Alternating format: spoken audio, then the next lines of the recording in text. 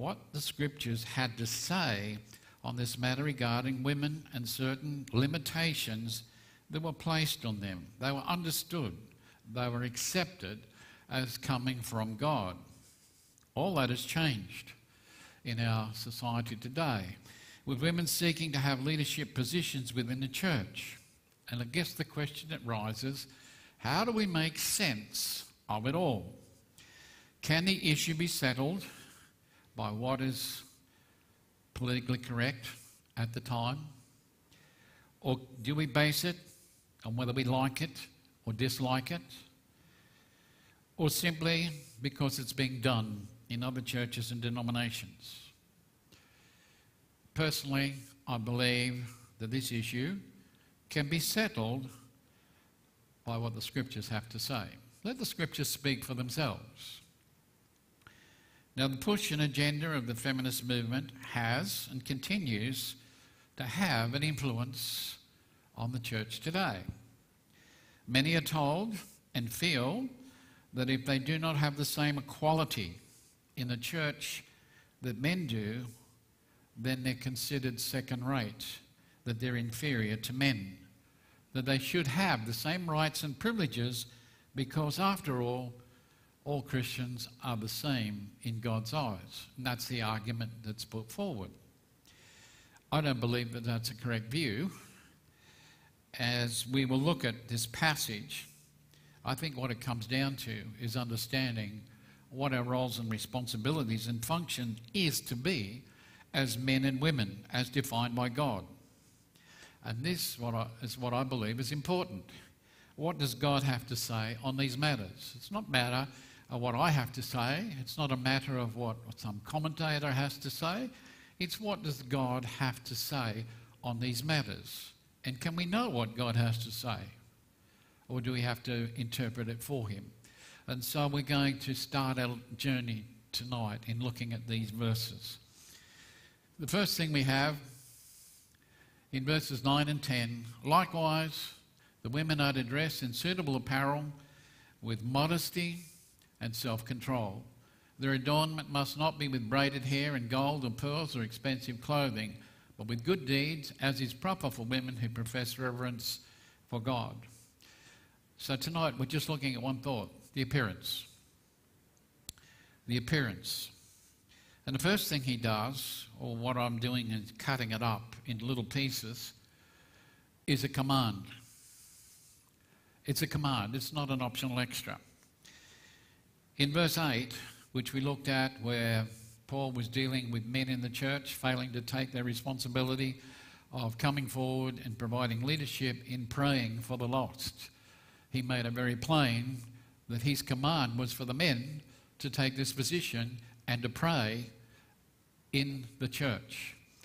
And it says here that um, in this verse, he is putting his attention to how women would approach worship in the church. And I've looked at all of the pros and cons that have been presented here, and they're saying, well, Paul is talking to Timothy about false teachers, and there were no false teachers among the women here. But if you look at what he's talking about, it's the attitude of people coming to worship together. He's talking about men who were arguing and fighting and in, in dissension with one another. He said that has to come together and they have to lead by example. And he's talking here that women must come, how they must come and approach. And he used the word buleme. And it's referring to his purpose, his determination, his command for addressing this issue. It's not some optional extra. It's not his wish. I wish you would do this. I think you ought to do this. He's saying, This is what you should do. It's not optional extra. If it had been that, he would have used the Greek word phelo, and he doesn't. He uses this buleme, which means this is my command to you as a people in the church. When you come together to worship, this is what I'm commanding you, this is what I'm instructing you. So he's asserting his authority. He's saying, People, I want you to pay attention to what I have to say here. Just as I've commanded men to lift up holy hands in prayer, I now command women to demonstrate modesty and spiritual uh, adornment in their worship in the church. This is what I'm commanding you. I'm not asking your opinion. I'm not asking for an argument. I'm not asking you to consider whether you think I should be saying this or not. I'm telling you. So there's a command. Likewise, it goes back to the previous verse. Then a concern. The women are to dress in suitable apparel. Now, Paul, when we look at this, we sort of can skate over the top of it. But Paul is making an important statement. Here, he's expressing a genuine concern for what is happening when the church gathers together to worship. And in verse 8, which is the previous verse, Paul addressed the issue of gender by a word that he used to indicate that he was speaking to male men. He used the word aner, and that is to men in gender. It wasn't to females, it was for men. He didn't use the word for mankind, which would have included males and females. He was speaking definitely to all the male gender. He commanded them to take the leadership role in praying in the church. There's no two ways about it. I'm telling you, this is what you should do. In verse 9, he's making it plain that he's speaking to the female gender. He uses the word gynecus, and we get that word gynecology in our English, but gynecus, and it refers to the female gender. There's no ifs, buts, or whatever. And this is important, particularly as what we're seeing is happening in our society today, where the lives are being blurred by gender fluidity. The cancel culture wants us to rewrite what they don't like or agree with. In other words, get rid of personal pronouns. They must be ambiguous. We can never use them or they. We can use those, but we can never use him or her. They are not acceptable as they might offend someone who considers themselves to be a female or a male. So, what Paul is saying here is important. He's addressing the female gender. He's not giving it as a general for the whole congregation. He's addressing and commanding the female gender. Keep in mind, Paul is dealing with corporate worship. Men who were having anger and dissension issues within the church when it came to praying. Now, Paul addresses the issue here of women in worship, saying they need to be appropriately dressed. The word cosmeto, oh, you can imagine cosmeta, cosmetics, we get the similar sorts of thing, mean to adorn, to put on, to arrange. It covers the outerwear, the things they physically wear, as well as the attitude of their heart when they come to worship. In other words, when women come together in corporate worship, they are to wear proper or respectable clothing in what they dress. Paul is not saying, and he's not saying, women, you can't use makeup, or that they're not allowed to do their hair, but they are to dress in a way that is proper and appropriate when in mixed company. Now, please understand, as we will find out, Paul is not a killjoy. He's not a fashion policeman. He's not against wearing jewelry or expensive clothing. He is simply instructing women to come to worship in a way that's respectable and would honour the Lord. That is his concern, and that's what he's addressing. We come to the word control with modesty and self control. And I found this old picture, and we can laugh at that. How many would like to be dressed like that? I can remember in those days. Right? But you notice there that they're all appropriately dressed in modesty. Paul uses the word abios, which means modesty. And it means that a woman is to play or pay particular attention to her clothing to make sure that it will not be inappropriate and bring her or give her a sense of shame by what she wears. It's asking women to pay attention to the clothes that they wear when they worship. Do not be in any way a source of temptation.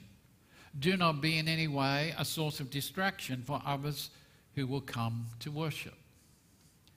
Not only does she apply this principle to situations of worship, but Paul is saying apply it to every sphere of her life. She will take the appropriate steps to be modest and discreet in everything she does. She will not desire to be an object of lust. She will not be the object or eye candy, as some have called it, and will do everything within her power to make sure that she doesn't do anything that would dishonor or offend God or be a stumbling block because of what she wears when she comes to worship. Paul's main concern is not with, if you like, okay, ladies, come here. I've got a tape measure. I'm going to measure your hemline. That's not what he's saying. What Paul is concerned is about holiness. He is addressing or challenging their priorities. What's the reason for you doing what you're doing and wearing what you're wearing? Is it based on outward appearances or does it flow from the inward attitude of your heart? Is that reflected in the way you dress? He then uses the word sophroson, and it means moderation or literally, it means to exercise self control. The challenge is to think about what you're wearing and how that will affect others when you worship. Does it distract? Does it take away from honoring the Lord in worship? Self control, restraint, moderation for the purpose of purity is to be expressed in the way a woman dresses and presents herself in the body of Christ as they're meeting for worship. What she wears and how she presents herself to others is based on a firm conviction and resistance to what the world says is acceptable and fashionable. Her intention will be to dress in a way that reflects the grace and beauty of who she is as a woman, as revealed through her heart.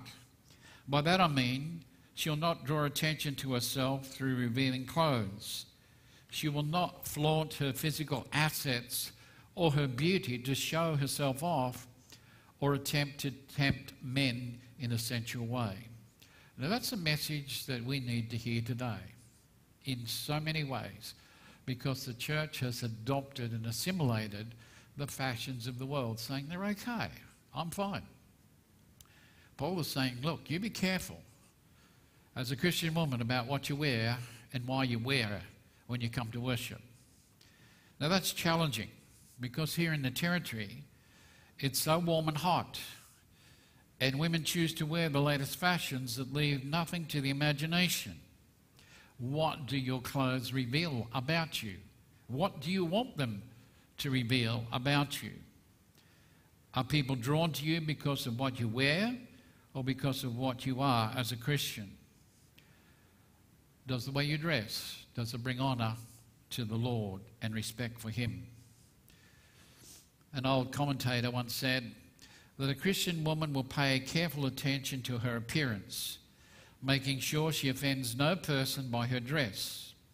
She'll be determined to show that everything she does, from her dress to her speech and her actions, will honour the Lord whom she follows and serves. She will not come to worship to be a distraction to others. She desires to be a godly influence without any desire to flaunt herself before others or to be a stumbling block to others. So, Paul, in summary, saying concentrate and think carefully about what you wear and why you are wearing it. Which brings us to carefulness. Their adornment must not be with braided hair and gold or pearls or expensive clothing. So, really, Paul is just saying Be careful in what you wear and how you wear it and why you wear it. He's not saying, look, ladies, as you enter the church, there is a dispenser over there, and I want you to put all your gold and jewelry and your fashion accessories into that box so that you will not be a distraction to others. That's not what Paul is saying. I don't think he'd get very far if that's what he tried to police. Now, you may be asking yourself, what's the big deal and what's the big issue that's at stake here? In Paul's day, he was having problems with the cultural excess, where the church would try to imitate the latest and greatest fashions that the world was embracing. In other words, the newest fads were taking place in the world at that time were now creeping into the church. And it became an opportunity for women to express themselves in society. It was an opportunity for them to make a statement about themselves through wearing the latest fashions. Look at me. I am somebody. I am with it. I've got it. Now, even in our modern culture today, women are being told that if you've got it, flaunt it, show it off, be proud of what you have, do not keep it hidden, show it off. And that's a message that permeates to the young ones particularly. We know from the records of history that the Roman Empire, this was something that was happening throughout society. And women were encouraged to make these statements even in the Roman courts. This had a flow on effect that filtered from the society's practice of the day, where women demonstrated their wealth and opulence through their dress, jewelry, and hairstyles. And of course, the church wasn't immune to such influences. In fact, this is what Paul is addressing here as an issue in Ephesus. The issue of those ladies who had begun to initiate those worldly fashions, particularly which embrace sensuality and modesty. And that's a challenge for the modern church today. I mean, it's a challenge and has been a challenge for the church throughout the generations, but more so today. And it's for both men and women. That's a challenge for how men and women dress. How does the way I dress, how does the way that I present myself on Sunday, what does it say about me? What does it say about my relationship to the Lord? And you might think, well, that's got nothing to do. I'm here, I'm worshipping. Well, it does have a, a, a, an impact on the way that you present yourself.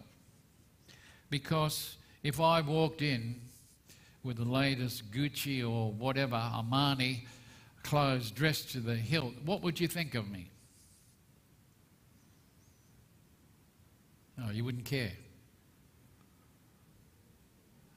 If I was dressed up in a $20,000 suit, what would you think? You idiot. If I wore the latest fashions, would you imitate and go out and do the same? Hopefully, you wouldn't. But it says something about me. How I present myself in worship by what I wear is making a statement about where I am and what my relationship with the Lord is.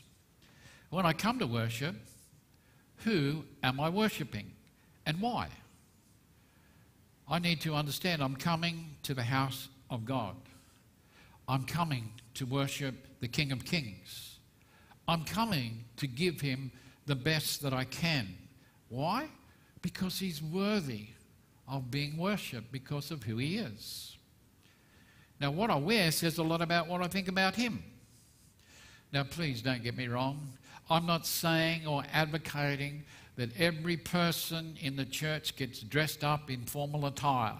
All ladies, you get your hair done, you wear your ball gowns. You men, you get your tuxes, tuxes out and you come to church. I'm not saying that at all. But we need to try and present ourselves in something that is a little better than what we wear at home. We are coming to the house of the Lord to present represent Him and to present to Him our worship. Doesn't He deserve to be honoured through what we wear as well as what is in our hearts?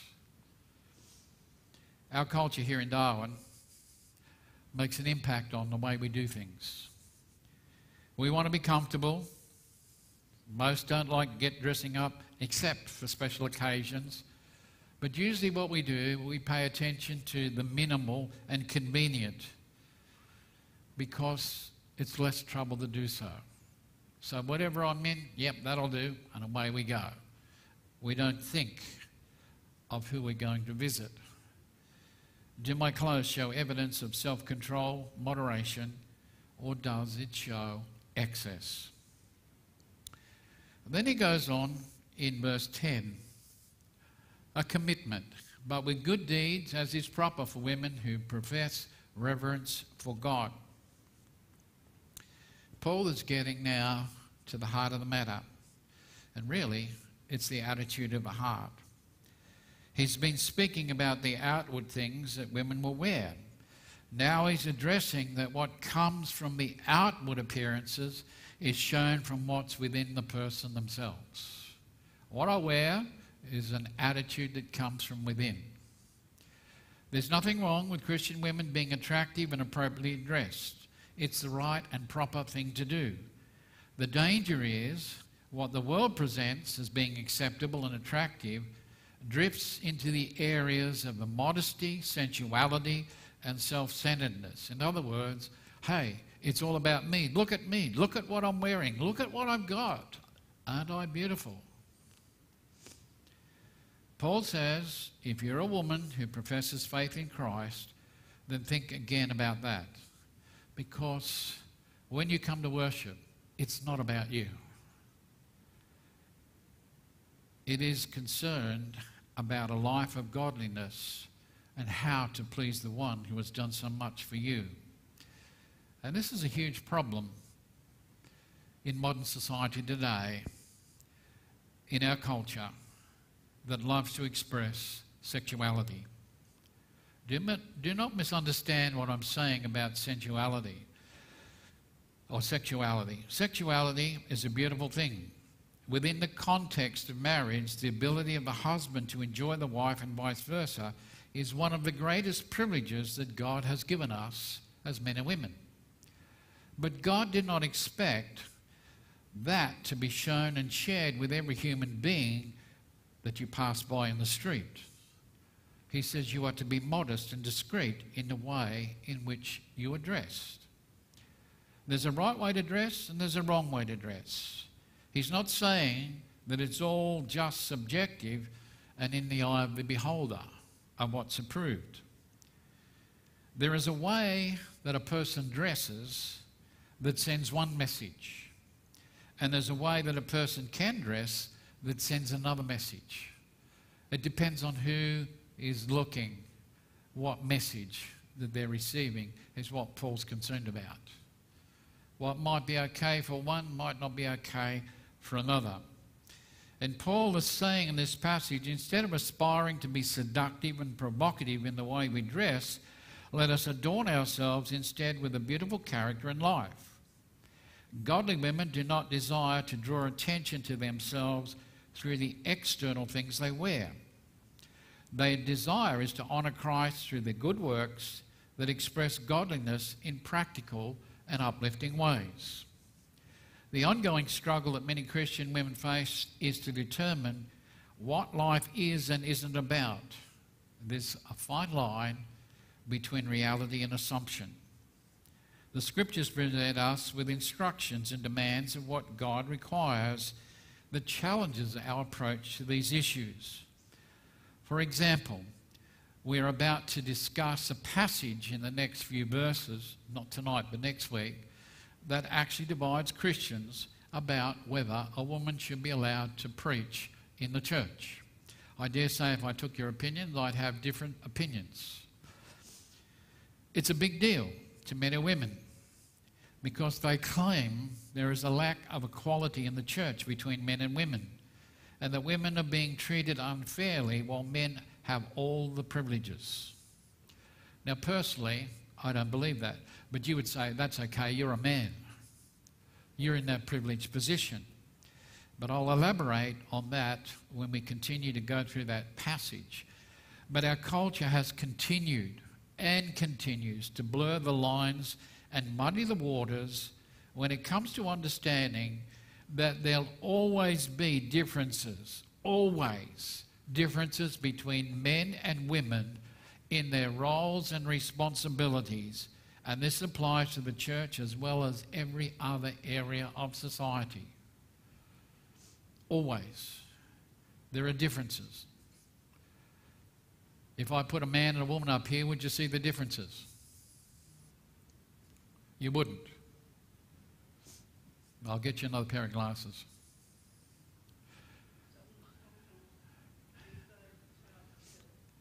Well, these days it is often hard to tell, or it can be hard to tell.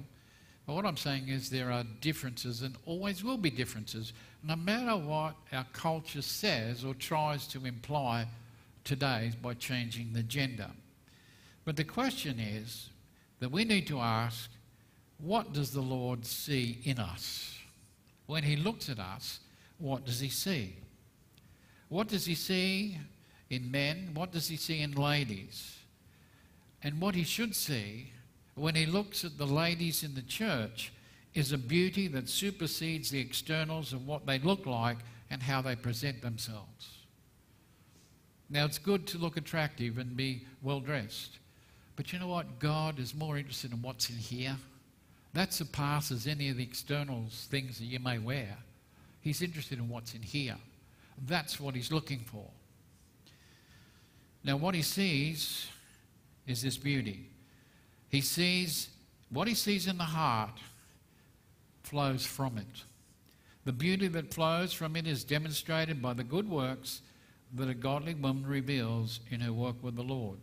So her walk and her talk are the same how she dresses reflects about what's in her heart. And I thought this was great because this is from a, a godly woman that you can't really ha- argue with. How many know Elisabeth Elliot? Was she a godly woman? Does she have anything to say? I think so. And she said this. I think she said this. Uh, we've gone on the blink. There it is. The fact that I'm a woman does not make me a different kind of Christian, but the fact that I'm a Christian does make me a different kind of woman. Quite a statement, isn't it? I'm different. Why? Because I have God living within me, and He makes a difference. It's good works that provides the biblical basis and God's basis for godliness. He says these women ought to make a claim to being godly by having their hearts adorned or dressed with the right attitudes and the right heart. A godly woman makes a conscious decision to live a life that shows who she worships and follows in a wicked and often evil world. Her desire, her ambition is to live a godly life, not a sexy one, by the outward things she does or doesn't wear. This goes against our culture of the day, a culture that's unrelenting, that keeps peddling a philosophy that conflicts with biblical standards of a woman who wants to practice godliness in her life.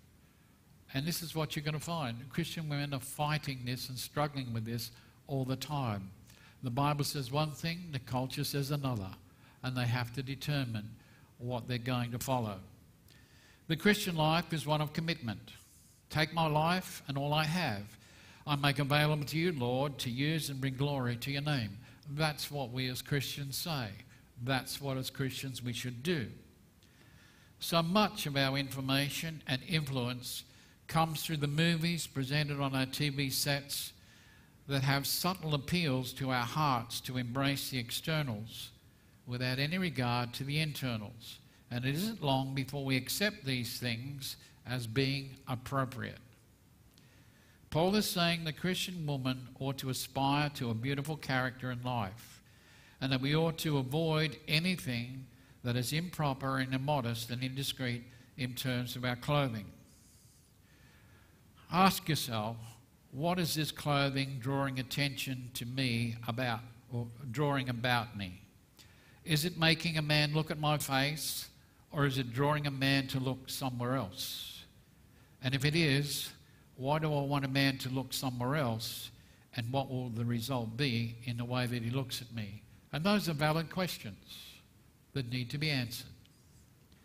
Do you want it to be treated only as a sex object, or do you want to be treated as a person of substance and dignity?